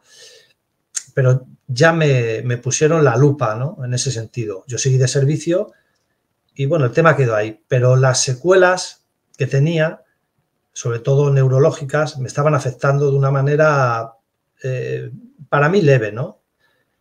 ¿Qué pasa? Que yo también tenía otro tipo de aspiraciones. Eh, había hecho el curso de tráfico y, bueno, veía que, podía tener más problemas y lo mismo, mis mismos jefes me, podían invitar a irme ¿no? de una unidad por ese tipo de secuelas. Claro, fui a tráfico, yo recuerdo que fui a hacer el curso de tráfico y, y lo primero que me dijeron, usted ha tenido un atentado, usted no está apto digo, bueno, he quedado el primero en las pruebas físicas, vengo del GAR, ¿qué problema hay? Pues, pues hubo problemas, ¿eh? Al final eh, les convencí en una entrevista también psicológica y en tráfico la verdad es que tuve mucho más problemas porque claro, en la moto, pues tú imagínate, hice la servidumbre, hice el curso de policía judicial, tuve problemas también, porque claro, era seguimiento, yo estaba en una EDOA, un equipo de delincuencia organizada antidroga, que estás todo el día en la calle viajando, yo estaba bien integrado pero ya, tenía problemas, tenía problemas neurológicos que me detectaron ahí ya importantes. Y me dijeron, si pasa reconocimiento, el médico civil de Incharrondo, al que le estoy muy agradecido porque fue capaz de callarse, eh, ya me dijo, eh, con tus secuelas eh, seguramente estés fuera. Y digo, sí, sí, yo he pasado reconocimiento médico en, en, dos ocasiones, en tres ocasiones me he dado de alta voluntaria. Y dice, yo no puedo tapar esto porque si te ocurre algo, el responsable soy yo. Entonces, bueno, yo estuve ahí hasta que ya pues decidí, decidí pasar a la barrera porque podía ser contraproducente para mis jefes, ¿no? Eh, estaba en el laboratorio ya, eh, pasé un tiempo allí, pero no, era lo mío. Entonces, hay que ser práctico. Fue la, depresión más grande que he tenido en mi vida, que yo creo que no he tenido otra, fue, fue esa, tener que irme del cuerpo. Es que, o sea, no me quedaba opción, porque ya todo estaba muy informatizado, mi expediente era visible, y ya me, me instaron a decir, mira, Juanjo, eh, quizás mejor que te vayas, te vas a ir con el 200% porque tus secuelas son relativas a esto. Y bueno, fue, fue muy doloroso. ¿eh? Entonces, todo viene por eso. Del GAR ya me fui eh, con, ese, con esa... Con, sabor amargo en la boca. Sí, pero sobre todo con una, con una incertidumbre muy grande, ¿no? De cómo está evolucionando la unidad y cómo yo podía eh, seguir adelante, ¿no? Eh, siguiendo, aportando, siguiendo aportando lo que necesita la unidad. Eh, fue, fue triste, pero bueno, lo explico en el libro bastante bien. ¿Y cómo es tu vida después de colgar el uniforme? ¿Cómo decides continuar el camino? Bueno, yo estoy fuera, pero quizás estoy muy dentro, ¿no? Por todo lo que hago cosas que puedo hablar y otras cosas que, prefiero no contarlas. Entonces, eh, yo lo primero que hice fue intentar reorganizar mi cabeza, ¿no? A ver a qué me voy a dedicar. Empecé a escribir, a pasar mis diarios. Siempre he sido muy meticuloso a, y hacer mis primeros libros, eh, mal escritos, desde luego, incluso con falta de ortografía, las cosas como son. Y luego me llegó la oportunidad de, escribir este último, pero siempre he estado muy, vinculado en esa lucha contra el olvido, ¿no? Siempre me he volcado con las ganancias de mis libros a ayudar a, compañeros, a, restablecer esos homenajes que, los ministerios del Interior no son capaces de establecer, o, muchos jefes incluso. Me, dediqué a los del GAR, que eh, de ETA son cinco asesinados, luego, luego vinieron los de Afganistán, pero bueno, eh, eh, eso ya está impuesto. Yo me he dedicado con otros compañeros a implantarlo y a acoger a las familias que están, están integradas, están en los grupos. Todos los años vamos a verlas, a todas, desde, desde, el, desde el guardia eh, Galnares o del guardia Lera hasta el teniente Mateu. ¿no? Todas esas familias están integradas en grupos de WhatsApp y Telegram. Todas tienen un amparo nuestro, un amparo relativo y, todos los años vamos a las tumbas, las acompañamos y, bueno, fue mi dedicación. Luego ya me metí en otras cosas, ¿no? Incluso a mediar eh, de manera muy directa, ¿no? Con muchos desengaños por temas políticos eh, y, sobre todo a hacer, a documentar lo que ha sido la lucha en contra de ETA y a que esto no se olvide, que, es, que estos programas me vienen muy bien porque esto luego tiene una difusión brutal. Entonces, yo quiero que la gente vea que, bueno, con un libro no te hace rico. Estamos grabando también una serie ya eh, del GAR que va a ser, eh, espero, un documental, va a ser, espero que, tenga una aceptación grande, ¿no? No tan mediático como el GEO, ¿no? Porque es muy mediático. La Guardia Civil, no, sabes que no somos tan mediáticos, pero tengo proyectos muy importantes, ¿no? De seguir documentando, escribiendo y documentando y ahora ya sí con un apoyo importante con compañeros con mucho peso. Algunos ya tengo autorización para publicar lo que me han dado porque por desgracia han fallecido y me pidieron por favor que... Que, que esperara. Que, sí, que esperara porque, eh, hombre, eh, sabes que tuve una reunión con el general Galindo en su casa, con testigo, con mi binomio, con su hijo, con... Y, bueno, pues esas cosas eh, hay, que, hay que escribirlas, ¿no? Hay que escribir muchas cosas. Que no caigan en el olvido, que es lo importante. Sí, sí, sí, porque ha sido muy sacrificado. No, no mi etapa en sí, pero han sido años muy duros, de una lucha brutal, de una mafia como ha sido la ETA, que, ha sido lo peor que ha tenido España eh, en, los últimos 60 años, con mucha diferencia. Y hay, que, que hacérselo llegar a los chavales, a las nuevas generaciones, como sea, ¿eh? Como sea. No, es que ahora hablaremos de eso porque es un tema que a mí me cabrea bastante. pasemos a la parte literaria. ¿De dónde viene, la, digamos, esa necesidad de escribir ese libro de Picoletos? Pues mira, ese libro de Picoletos yo publico Los Verdugos Voluntarios, eh, tiene mucho tirón, pero eh, se, vende mucho, pero eh, no, nunca pueden llegar a tener la repercusión que ha tenido Picoletos, entre otras cosas, porque date cuenta que, exceptuando el país, todos los medios me han dado, todos, todos los medios nos dieron cacho. Es impresionante. El país no. El país está totalmente politizado. Es una pena porque era un diario, sobre todo en el tema eh, geopolítico, eh, en el tema de, ilustrar a los leyentes en, todos los conflictos mundiales, pero ha, decaído de una manera total, ¿no? Porque hay cosas por las que no pasa y es, muy triste. Eh, entonces, Picoletos llega porque un editor Ricardo Artola, eh, que somos ya amigos, somos uh, familia, eh, me, propone, ¿no? me dice, oye, he conocido tus libros, eh, yo creo que esto es muy interesante, te apetece, y por supuesto, a mí me da una alegría enorme y lo hacemos. Entonces, el tema literario viene precisamente por eso, para dar a conocer una unidad que es, que es muy desconocida, como el GAR, una unidad que tiene un peso no digo que tenga un peso como el tercio, ¿no? O, como la infantería española, pero lleva ya 45 años en activo, eh, como lo lleva el GEO, lo lleva la, la UEI prácticamente. Eh, eh, entonces, yo creo que hay que dar a conocer a las personas lo que ha sido y lo que fue, lo que curtió y lo que ha hecho a, Algar, como me dijo uno de los veteranos y fundadores, es el espejo donde todos se quieren mirar.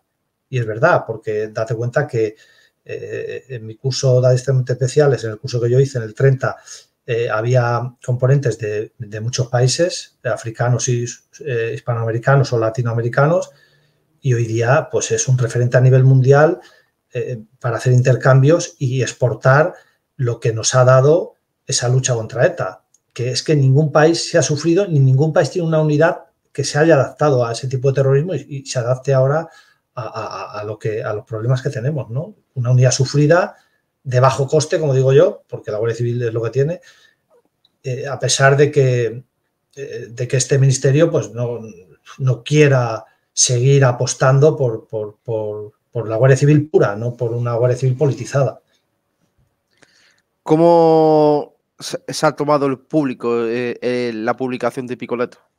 ¿Cómo ha sido esa bienvenida? Pues mira, he tenido críticas, ¿no? Críticas malas, que han venido del propio, pero una o dos personas ¿eh? en concreto que pueda controlar, que, pueda, eh, por el tema de picoletos del nombre, que, además fue hecho adrede, fue hecho adrede para que impactara, porque el término picoleto, si lo analizas, no eh, puede ser despectivo, puede ser despectivo. Yo no lo considero así, ¿eh? No lo considero así. No es lo mismo que pase un señor y te dé picoleto y te salude, que, pase uno y de Picoleto hijo puta, por decir algo, o Picoleto chacurra, ¿no? Entonces se hizo adrede. La aceptación ha sido, vamos a ver, cuando en lo que barema, en lo que hoy día, por desgracia, es da catalogación a, las ventas de un libro, que es Amazon, por desgracia digo, porque está, las librerías están perdiendo mucho, te, te llega a catalogar el número uno de su lista, a nivel mundial, eso es mucho decir, ¿eh? Y está mal que yo lo diga, ¿no? Eh, a día de hoy, estar, o sea, un libro publicado, estar dentro de los 20.000 es un éxito. Estar en la posición que está ocupando Picoletos, por ejemplo, o, Madera de Geo ahora con, con Miguel Jarque, que somos amigos, y yo he participado muchísimo en ese libro, vamos, que le he convencido. Si te fijas en la portada, tiene mucho que ver, ¿no? Es, prácticamente es Que, es, que, Miguel eh, es otro porpento de, en su época. Sí, sí, además es un tipo humilde y como hay que ser. Totalmente. Es, una buena persona. Entonces, Tuve la oportunidad de charlar con él casi dos horas y. sí, va, a ser un éxito total. Y, él está en eso, ahora está recién salido, pero cuando un libro marca eso es porque tiene mucha aceptación. Y cuando se lee tanto es porque tiene mucha aceptación. A mí eso eso, para mí eso es mucho, porque ya te digo, hoy, todo lo que he hecho hoy, un viaje eh, con estas chicas, eh, eso todo lo sufrago yo. Eh, el autobús que llené con víctimas del terrorismo y con estudiantes vascos, a pesar de que el gobierno vasco lo criticó incluso quiso tomar medidas contra ello, pues es, es, muy ventajoso poder hacer ese tipo de cosas, ¿no? O poder viajar a las tumbas de los compañeros o ayudar a otros compañeros que lo necesitan, para mí es muy importante que el libro se lea, pues figúrate, para un escritor que se lea tanto, es, vamos, es, muy satisfactorio, ¿no? Pero mi objetivo es la lucha contra el olvido, ¿eh? que quede clarísimo. Ahora, ahora hablaremos de eso. ¿De dónde crees que viene ese intento de pasar página tan pronto? Eso es, eh, es todo política, es todo política, ¿no? Eh, date cuenta que los socios mayoritarios de los gobiernos en España en democracia, a, no, no, a partir del año de los eh, finales de los 80 ya es el nacionalismo. Todos los gobiernos han necesitado eh, el apoyo de nacionalistas para gobernar, todos. El PSOE, eh, el PP, y hoy ya lo que ocurre ya es una infamia, ¿no? Que ya determinados grupos radicales que están totalmente en contra de, la unidad de, la unidad de España y que, y, que se la trae al pairo todo lo que pueda ocurrir de bueno en España, que ellos lo único que quieren es seguir, eh, seguir sacando mucha tajada de, un gobierno débil como el que tenemos desde hace años, pues es, es, es, ese es el objetivo, porque eh, en las condiciones las están poniendo ellos. ETA las puso en su día con muertos encima de la mesa y hoy las están poniendo con eh, eh, o sea, las están, las están poniendo para que les den lo que ellos quieren. Y lo que quieren no es la independencia, solo quiere Bildu. El PNV no quiere la independencia, quiere el PNV o, Junts o eh, esa gente lo que quiere es sacar tajada, ¿no? Quieren, un escaño más, un funcionario más. Y, un foro fiscal, como tienen aquí, una hacienda fiscal, donde puedan ya manejar ellos su dinero, eh, tener una policía muy profesional, totalmente politizada, como que en Cataluña, para manejarla, para que no les investigue como hace la UCO eh, anticorrupción, como ha hecho a todos los gobiernos, al PSOE, al PP, a, Podemos, a todos. Los, a la UCO los ha metido, les ha hecho pisar la alfombra a todos. Eso es lo que quieren. Entonces, el, tema de pasar página es necesario, pero cuidado, hablando las cosas como son, ¿no? Date cuenta que hay muchas heridas abiertas, hay muchas viudas. Yo tengo una agenda de viudas y grupos de, de WhatsApp, sobre todo, porque las mujeritas no, ya muchas no. Esa gente hay que respetarla, ¿eh? Y oye, si hay que pasar página como de la guerra, de la posguerra y de todo eso, con ETA, date cuenta que el 2010 está ahí, fue hace nada. El último atentado de ETA fue en 2009, o sea, que estamos hablando de que y, queremos ya olvidar a los muertos, a las familias y todo lo que ha ocurrido y encima beatificarlos. O sea, cuidado, ¿eh? Encima ya no les puedes llamar terroristas, no, hay que llamarlos... Manifestantes fanáticos, como decía Eboli. O militantes, mm. o, o, la lucha revolucionaria. No, no, vamos a ver. Eh, eso fue terrorismo y hay que hablar de lo que es. Entonces, los objetivos, o sea, eso lo impone esos grupos minoritarios. Bildu se lo está imponiendo, incluso el PNV se lo está imponiendo a, este gobierno. La importancia, como decía um, Cecilio Andrade, de llamar las cosas como son. Claro. Si eres terrorista, un terrorista. Si yo no neutralizo, yo no doy baja, yo, te, yo mato.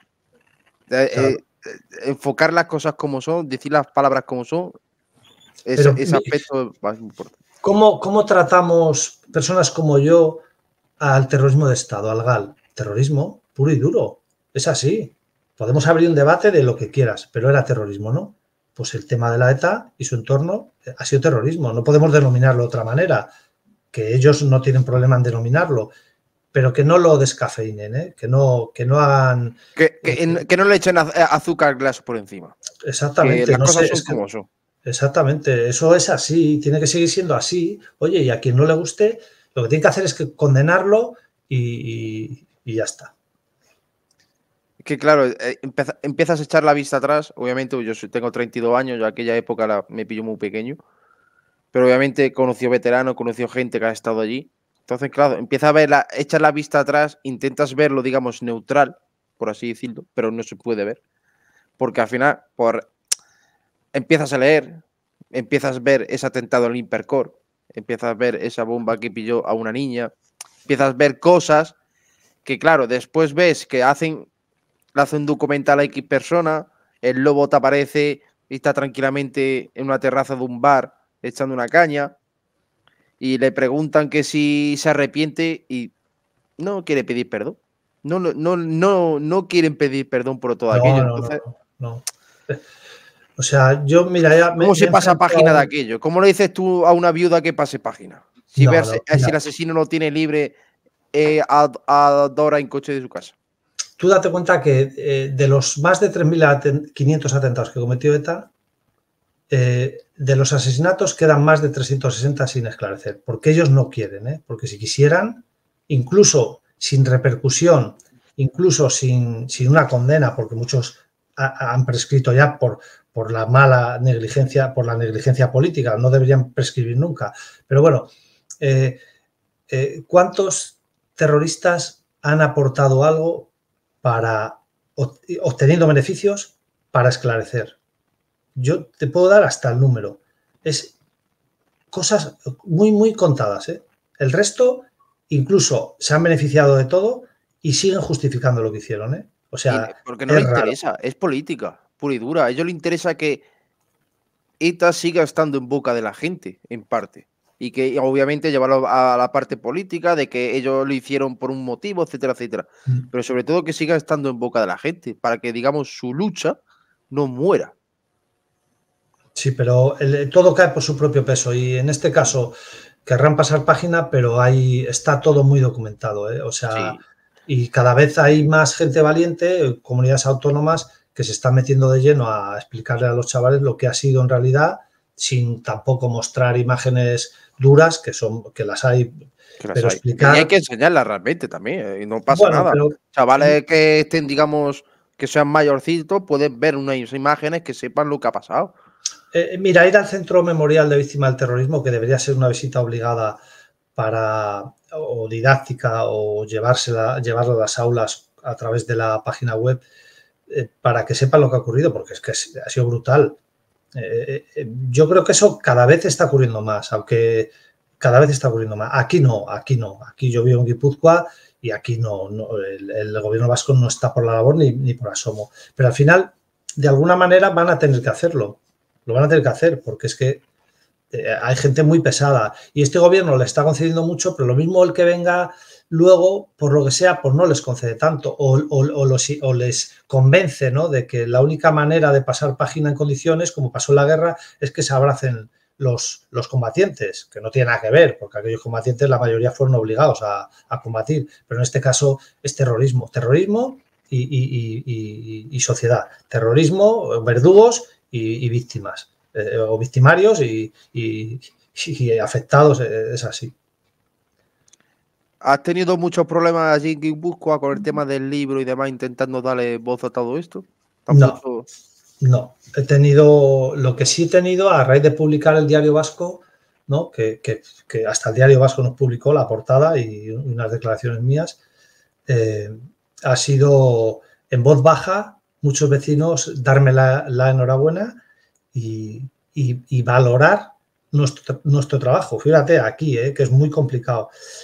Eh, es lo que he tenido. No, hombre, algún chalao por las redes porque te dice cosas, pero vamos, es que no. Con algunos he llegado incluso a, tener diálogo, y, pero ¿sabes lo que pasa? Que son, bajo mi punto de vista, tienen tal visión de lo que ha ocurrido, tal, tan tergiversada, que, que aunque intentas hablar con ellos, luego te das cuenta de que no merece la pena, porque una persona coherente y normal lo entiende, ¿no?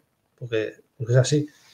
Pero vamos, eh, ver como unos payasos estos días, eh, Perry, Pirrich y Porroch, eh, claman la llave de los presos y el acercamiento a los niños, digo, bueno, ¿en qué mundo vivimos? no? Eso en cualquier país desarrollado es, inviable. Pero lo que está pasando aquí, digamos, en el panorama político, el tema de que ya de por sí de que una persona que ha sido imputada por terrorismo esté dentro de un del parlamento del mismo país que ha intentado volar es que es el colmo, es que es como, no sé, como darle un petardo con un, eh, con un mechero niño de tres años, Es que no hay por dónde cogerlo.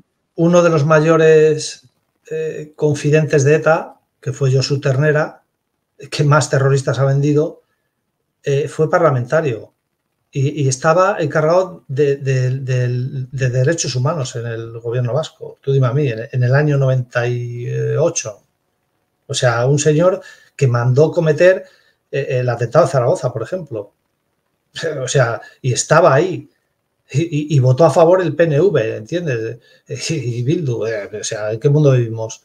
Pues en, España, en España somos tan grandes que a veces hacemos cosas pues, eh, de, enorme repercusión. O sea, pero bueno, hay que seguir ahí en la brecha. Sí, hay que seguir luchando. Tenía que preguntar, ¿dónde crees que hubo ese punto de inflexión? Digamos, de aceptar esa lucha de que esa gente era la mala hasta, digamos, intentar blanquearlo? ¿Dónde crees que llegó ese punto? El, problema que ha habido aquí, aquí en la comunidad autónoma vasca, en Euskadi, era, el problema ha sido el silencio que, impuso ETA, asesinando, eh, mutilando, atentando, extorsionando, amenazando. Entonces, eh, el, asesinato de Miguel Ángel Blanco hizo que la gente saliera a la calle y, perdieran el miedo grupalmente. Pero luego, como digo yo, cuando se iban a su casa, muchos, que eran concejales ya como él, decían, eh, ahora voy solo por la calle, ahora me pueden pegar una paliza o matarme, como hicieron, como siguieron haciendo. ¿eh? Entonces, el, problema eh, sigue vivo. ¿eh? Aquí el silencio es un hecho. Hay temas de los que no se hablan. Ya no digo de la ETA, que eso es un tabú. Ya digo de. No se puede hablar, no se puede entrar a una taberna típica de Guipúzcoa a sentarte a charlar sobre el tema. Digamos, eh, es complicado. Lo puedes hacer, lo puedes hacer. Eh, nadie te va a decir nada, ¿no? Seguramente nadie te diga nada, a no ser que estés un pueblo pequeño donde haya un grupo de, radicales que, eh, eh, que, evidentemente vas a tener problemas, ¿no? Te van a increpar e incluso puedes llegar a las manos porque son, son chavales, no saben todavía y están radicalizados, no saben todavía en el mundo que viven, ¿no? Eh, que ellos no salen de, sus, de esas aldeas anacrónicas, están ahí encerrados, los menos. Las cosas como son, hay que hablar con propiedad. entonces, ese problema va a seguir existiendo, ¿eh? Ese problema va a seguir existiendo, pero más que nada porque los que lo tienen que normalizar y exteriorizar son los políticos. tienen que llegar a las aulas cuando los niños tienen ya determinada edad y decir, aquí ha ocurrido esto. Y hay que hablar de ello. Y hubo unas personas que eran culpables y hubo, eh, eh, si, incluso no llegar a profundizar tanto, que quizás no sea necesario, es decir, eh, es que los nacionalistas subvencionaron a ETA de muchas maneras, ¿no? en otros tiempos, desde luego, hombre, no vas a acusar a Endacari de ahora con cosas que ocurrieron que hizo el Endacari anterior, ¿no? Este, que fue terrible, ahora no me acuerdo, pues yo con mi cabeza, ¿entiendes? Eso quizás no, haya, no, no haga falta profundizar a los chavales, pero decirle de qué fueron capaces de hacer o cómo fueron capaces de silenciar a toda la sociedad, eso es evidente. Date cuenta que aquí, eh, hasta hace muy poco, a nadie le convenía decir soy guardia civil o soy policía. Eh, vamos, eh, todavía no ves que tiendan los uniformes en la calle. Yo en casa, toda la ropa que tengo para estar en casa es del GAR o, cosas que me vienen muy bien para, incluso salgo a la calle a veces con prendas o voy a correr y llevo mi, voy a correr a la playa Andaya con mi traje, con mi cortavientos de veteranos del GAR, ¿no? Y a la gente le llama la atención la bandera de España tan grande. A mí me da igual, ¿no? Pero eso aquí es difícil. Eh, lo haces en, parte, en cualquier parte de España y es, normal, ¿no? O llevar una visera con una bandera. Pero bueno, eh, sobre todo Merilla, Ceuta, que son eh, las comunidades autónomas más militarizadas de España, que allí te encuentras un, un, militar haciendo la compra de, en el Mercadona, tranquilamente. Exacto, pero aquí eso, pues como que se perdió, igual que se perdió la, a raíz del asesinato de Gregorio Ordóñez y de otros políticos con mucho peso, silenciaron a toda la sociedad. Eh, es muy difícil. Date cuenta que el voto por correo aquí todavía es, enorme. Ya no digo los años malos, que votaba por correo todo el mundo, porque tenían miedo de ir a votar, porque estaban allí los, los batasunos, allí a ver, eh, a, ver, quién iba. Sí, sí, esperando, porque ellos conocían a todo el mundo. Entonces, o sea, la, pregunta que me haces, pues ese impasse, yo, eh, pues, pues yo creo que no ha ocurrido. O sea, aquí seguimos igual. ¿no? Aquí ya en mi bloque, pues sabe, hay gente que sabe soy guardia civil, pero son gente de mi entorno, que, que no quiero que me, que me, me, laurel, ¿no? Pero, pero hay gente que, bueno, pues que no lo acepta, ¿no? No sé, es complicado, ¿eh? Hay gente que, o sea, no me van a decir nada, pero sí que, sí que es verdad que, que es un tabú todavía, es, es un hecho. ¿Crees que faltan un, por ejemplo, dos o tres generaciones hasta que... Sí, sí, sí, sí. sí, si los políticos son capaces de que no echen a la Guardia Civil aquí del todo, que espero que no, eh, porque, es, eh, porque es evidente que somos necesarios y ellos lo saben, eh, sí que es verdad que hacen falta que pasen unos años y se hagan las cosas bien para que se reconozca que, aquí sufrió todo el mundo mucho mucho. Y, los que más sufrieron, sin duda, fueron los que, los que estaban en contra de ETA o los que luchábamos en contra de ETA. ¿no? Ellos dicen que también han sufrido, no lo dudo, pero bueno, era un sufrimiento voluntario, ¿no? El que daba el paso o engañado, eh, vamos a ser benévolos en ese sentido, pero vamos a ver, estamos hablando de, de las provincias más privilegiadas de España, económicamente, industrialmente y en todos los sentidos. O sea, esa, opresión de la que nos acusan, cuando históricamente, eh, desde 1898, que, que Sabino Arana eh, se inventó todo esto, el nacionalismo vizcaíno y una Icurriña, parece que llevan, eh, parece que llevan aquí oprimidos como, los, como los irlandeses, ¿no? Que eso sí fue una, una verdadera opresión de, Gran Bretaña, ¿no? del Reino Unido, bueno, de, Inglaterra. Eh, esto es un invento absurdo. Hay que, hay que denominarlo como es. Mm. ah, sí, el tema de, para, también para que la gente lo, conozca, el tema del trabajo que hace sobre todo con, los veteranos, eh, con los veteranos de GAR y sobre todo con las víctimas del terrorismo, las viudas y demás. Eh, ¿Cómo se llama, digamos, el proyecto que tienes montado? como si la gente si quiere buscarlo para poder ayudar y demás? Bueno, eh, yo estoy en las redes sociales, ¿no? Eh, eh, en mi página web, que yo te la pasaré, ahí viene pues mucho, ¿no? ¿Sabes lo que pasa? Que tampoco, o sea, hoy día, hace años, sí que es verdad que me metí de lleno, ¿no? Hoy día está como, ya tiene, ya hay un camino hecho, entonces la cosa va rodada. Yo cada vez que tengo oportunidad, de alguna manera, como hoy, ¿no? Pues llevo a determinadas personas, eh, eh, sufrago yo esos gastos y me los llevo a Vitoria y que vean allí el tema, ¿no? sobre todo para que los lleven a sus países, porque esta gente luego eh, son especialistas en mediar, son gente muy preparada, que, que vienen aquí precisamente a interesarse por este problema. Yo me busco la vida para conocerlos y es así, ¿no? En cuanto pueda, pues e, evidentemente llenaré otro, otro autobús de chavales y los llevaré al centro memorial con víctimas, con viudas y con, mi compañero, con mi binomio, que o sea, su padre lo asesinó ETA, que es una referencia de todo esto, ¿no? Eh, eh, con el tema de los familiares, pues oye, eh, yo los he integrado como he podido, he viajado por toda España a sus tumbas con, con otros compañeros, costeándolo está mal decirlo, e, esas ganancias me venían muy bien para eso, para viajar, ¿no? Y para decir, oye, mira, yo soy tal, vosotros sé que lleváis aquí muchos años, eh, pues olvidados, así, eh, eh, los únicos que vais a las tumbas de tu hijo sois, vosotros, y a partir de ahora, pues oye, pues organizamos una comida, vamos varios veteranos y, y hacemos eso, ¿entiendes? Que de otra manera puedo ayudar no solo económicamente, ¿no? Porque eso también puede ser perjudicial, a alguien de alguna manera directa, porque claro, al principio donaba dinero, pero te das cuenta de que muchas asociaciones reciben unas cantidades de dinero que lo que menos necesitan es una donación como la que pueda dar yo, que yo soy un particular prácticamente. Entonces, todo eso a mí me motiva muchísimo. Cada vez que tengo oportunidad, lo hago. Y la gente, hay gente que lo sabe y lo aprecia, y es así. Luego reorganizar a Veteranos GAR, pues es complicado también, porque somos pocos. Eh, sí, tengo una agenda de mil y pico veteranos conectados, ¿no? Por, Telegram o por, WhatsApp o, a través del presidente de Resco.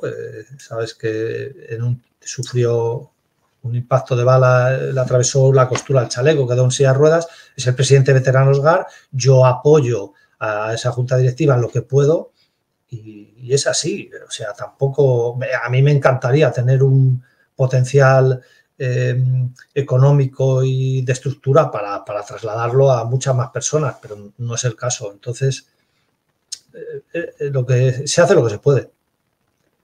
Pero es, es una gran labor, ¿eh? Bueno, eh, sí, me muchos compañeros me han ayudado, ¿eh? Y gente me han ayudado y bueno, y su día tenía mucho apoyo con el teniente coronel Galloso, que se volcó con eso y me ayudó muchísimo, en, sobre todo en integrar a... fue, la idea fue suya, de hacer una, una hermandad de veteranos, ¿no? Como la que tenemos ya. Y bueno, y hay que seguir, pues lo primero con tu familia, ¿no? Y luego ya, pues, con todas... Paso a paso, golpe a golpe. Eso es. ¿Y, y futuro libro?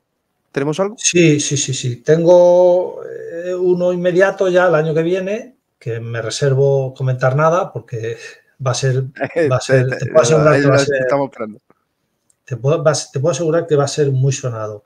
Y luego otros, otro tipo de proyectos, eh, los bajes tienen que tener una pauta, tienen que tener una pauta, hay que hacerlo bien, ¿no?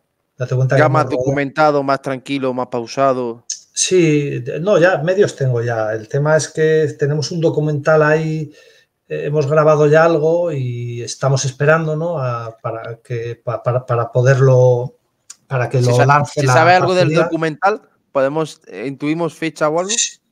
bueno, este 2004 yo creo que va a ser, decir, 2024 va a ser eh, cuando, cuando salte alguna plataforma, ¿no? Porque compró los derechos la factoría Neo, ¿no? Que es una factoría importante. Eh, hemos rodado algo, ¿no? Y, tenemos que hacer algo más. Lo que pasa es que también depende mucho de las subvenciones. Y las subvenciones las da el Ministerio. El ministerio. Entonces, hay cosas que no les interesa promocionar, es evidente, las cosas como son. Pero bueno, eh, si se eh, yo creo que se va a hacer, ¿no? Porque ya se ha grabado algo. Si se hace bien y si no, pues no pasa nada. Todo llegará, ¿eh? Seguiremos un poquito. Está claro que, llegarán otras, otros tiempos mejores y se hará algo, algo bonito y algo que, llegue a la gente. También, eh, para la gente que quiere informarse y a lo mejor o conocerte o, si, las charlas que tú des y demás, ¿dónde tiene que ir? ¿O dónde, cómo, tiene que hacerlo? Si, si, si, enlazan en mi página web, arroba Juan José Mateos, Sí, la pondré abajo a la descripción para que la gente le eche un vistazo. Eso, yo te mando el enlace. Ahí ven prácticamente muchas de las cosas que, la, de lo que hago. Si meten en Google Juan José Mateos o Picoletos, le va a derivar a todo, a todo, ¿no? Al libro, a la página web, a cosas que hago constantemente, a lo que subo en Instagram o en TikTok o en Twitter, en X eh, y en Facebook, que cada vez está más descatalogado, desde luego. Entonces ahí pueden hacer un seguimiento y, pueden ver un perfil claro de cómo pienso y de lo que hago. Sí, pondré todo, digamos, todo el tema de los enlaces de todos los libros de tu página web, todo, la pondré abajo la descripción para que la gente le eche un vistacillo. Eso es, es, muy sencillo. ¿eh? Y luego acceder, a mí me gusta tener un trato directo ¿eh? con, la, con mis lectores, o sea, eh, trato directo. Sé que a veces es difícil, ¿no? Porque claro, ya un libro que ha saltado, ha tenido una tanta repercusión, pero vamos, que cuando alguien me lo pide dedicado, pues no tengo problema en enviárselo, a hablar con la editorial, siempre, claro, porque hay unos comerciales que te pueden poner, pero no, no hay problema. ¿eh? Acceder a cualquier consulta, cualquier charla, me piden consejos eh, de temas eh, en los que puedo ayudar, ¿no? Eh, sin problema, sin problema. Y para terminar, Juan, ¿cómo estás a día de hoy? Porque este, no sé si te, te lo voy a preguntar, ¿cuántos años tienes actualmente? Pues a las 12 de, hoy, a las 001, 51 años. te conserva bien, ¿eh? Bueno, bueno, rubio platino, ya fíjate cómo me brilla aquí el cartón. Bueno, yo tengo entrada con mira estoy entrada, tengo ya con 32, ¿eh? Ah, pero hay, entradas, hay entradas que duran toda la vida. tengo la misma entrada desde los 14 años. ¿eh? Bueno, estéticamente no, no soy yo un hombre muy... Eh, me, me, mantengo bien. Moralmente, pues hombre, hay etapas, ¿no? Hay etapas en las que te metes en fregados que prefiero no mencionar, que te atacan, te atacan bastante, ¿no? Porque tienes que... Pues Cabeza fría. Encontrarte con gente que, ha sido, que han sido tus peores enemigos, ¿no? Pero me interesa mucho. Hay gente que no lo entiende, yo a mí me interesa mucho hablar con ellos y sobre todo sacar información, sacar información para que y, ver qué piensan o qué pensaban antes de hacer lo que han hecho, ¿no? Entonces eso es muy interesante para mí y además es, es necesario al enemigo, eh, eh, eh, si no conoces a tu enemigo o al, que era tu enemigo, tú como militar lo sabes, hay que conocerlos y hay que estar ahí y hay que ver cómo piensa. Y, sobre todo hay que darle a la sociedad, hay que darle conocer a la sociedad que la mayoría de ellos no se arrepienten, que son psicópatas, la gran mayoría. Hay otros que por lo menos se puede hablar con ellos, pero que han sido eh, ha sido lo que más nos ha atacado con mucha diferencia en estos últimos 50 años, eso que a nadie le quede claro. Y si a alguno le chirría los dientes porque hago determinadas cuestiones al acercarme a la familia de un etarra porque lo he hecho, yo lo siento, pero lo voy a seguir haciendo.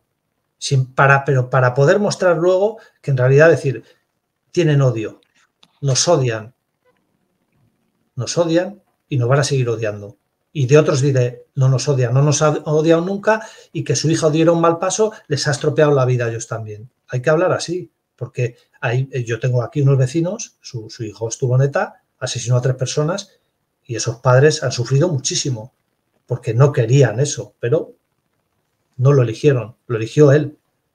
¿Entiendes? Entonces, esas cosas hay que... Yo quiero profundizar en eso y quiero hacer cosas muy espectaculares, pero a la vez que entiendan lo que te he dicho, que muchos son malos y van a seguir siendo malos hasta que se mueran, pero hay una minoría, una minoría mínima, las cosas como son, quizá también no hayan matado, que eso es muy, importante, no hayan asesinado, hayan hecho otras cosas, pero bueno, yo creo que hay que entrar en eso, ¿eh? hay que entrar, hay que, hay que dar a... No, no se puede olvidar lo que es, lo que ha sido y lo que han pasado. No solamente la parte de, porque como decía también el juez Calatayud, y decía, dice que nosotros también podemos ser el padre del niño autor. Exactamente, exactamente. Y los hay, ¿eh? Hay gente que han sido los padres del niño autor. También te digo una cosa, ¿eh? La mayoría son peores que los hijos. Te lo digo porque. Sí, porque, han nacido en una X familia, que han tenido una X unos valores, unas cosas. Es terrible, ¿eh? es terrible. Pero bueno, que proyectos hay eh, y que quede claro que, que vamos, yo hasta que me muera estaré metido en esto o hasta que me deje la vida. ¿Has enterrado el hacha, Juan? No, no, no, no. Yo el hacha no, lo voy a enterrar nunca. Antes era, el hacha lo utilizaban ellos, pero bueno, eh, el término que tú has dicho, eh, antes era una lucha eh, en la calle contra la ETA o contra la delincuencia organizada y hoy día cualquiera podemos, tú, yo, un señor de 70 años puede hacer cosas muy importantes a favor de la sociedad sin, sin tener que empuñar un arma que bueno, eh, eh, algunos tenemos todavía muchas facultades para hacerlo, pero yo creo que no es necesario. O, espero que no sea necesario. Eso, es lo que yo intento con estos vídeos, digamos, dar voz a toda esa gente. Que yo soy pequeñito, yo no soy nadie realmente, pero por lo menos que esto se quede registrado y que la gente entienda los distintos puntos de vista. Sí, bueno, tú eres pequeñito, ah, yo te haré un poquitín más grande, seguramente. Eh, Miguel otros te harán un poquito más y al final lo que tú haces es lo que tú acabas de decir. Al final es aportar.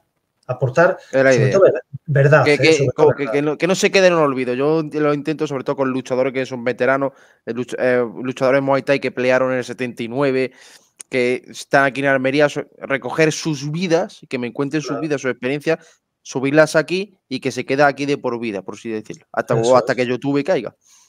Eso es. Es muy, importante y yo estoy muy agradecido a ti, a los pequeños y a los que llegan grandes, que llegan poco y cuando les interesa, pero bueno, hay que estar ahí también.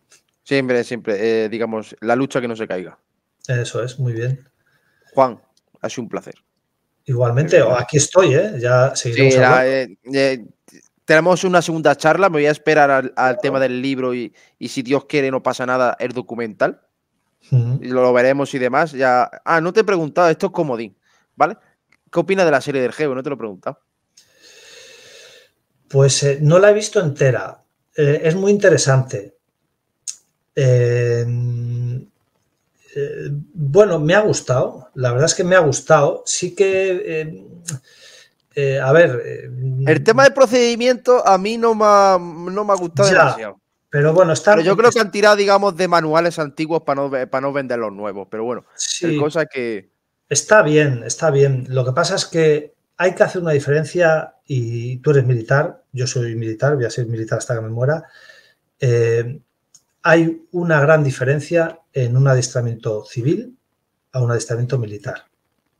Hay, que ver, eh, por así decirlo. Sí, pero hay una diferencia abismal, sobre todo en el, en el sacrificio, en el, o sea, Em, el sacrificio y la metodología militar es, más dura, ¿eh?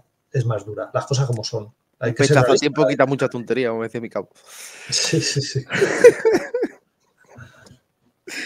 bueno, Juan, ha sido un placer, de verdad. Me pegaría aquí otras dos horas y media contigo, pero quiero seguirlo más adelante matizando un par de cosillas. Te agradezco de corazón que haya cogido esta entrevista y pondré todos los detalles de tu página web y tal, además, en la descripción para que la gente le eche un vistazo. De nuevo, Juan, muchísimas gracias por concederme este tiempo. Pues por aquí estoy a tus órdenes, ya sabes. Familia, Juan José Mateos, su trabajo habla por sí mismo. Dejaré todo el tema de todos los libros que ha escrito, sus documentales y demás, aquí abajo en la descripción para que le echéis un vistazo. Lo dicho, familia. Nos vemos en el próximo vídeo. Adiós.